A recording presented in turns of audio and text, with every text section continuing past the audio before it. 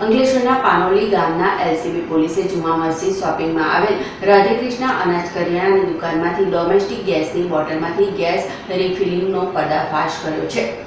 Bharuch local crime બ્રાન્ચની team Ankleshwar તાલુકાના Panoli police મથકમાં પેટ્રોલિંગમાં હતી. એ દરમિયાન ટીમને માહિતી મળી હતી કે પાનોલી ગામના રેલવે સ્ટેશન પાસે આવેલા રાધેકૃષ્ણ અનાજ કરિયાણાની દુકાનમાં ગેસની મોટી બોટલમાંથી ગેસની નાની બોટલમાં ગેરકાયદેસર રીતે ટ્રાન્સફર કરી વેચાણ કરાઈ રહી છે. આ માહિતીના આધારે પોલીસે તપાસ કરતા સ્થળ પરથી એક વ્યક્તિ નામે દિનેશકુમાર ગિરજા પ્રસાદ યાદવ ઘર વપરાશની ડોમેસ્ટિક ગેસની મોટી બોટલમાં વાલ્વ લગાડી પાઇપ વડે નાની બોટલમાં કોઈ પણ પરવાના વગર ગેસ રિફિલિંગ કરતો એલસીબી ટીમના હાથે ઝડપાઈ ગયો હતો.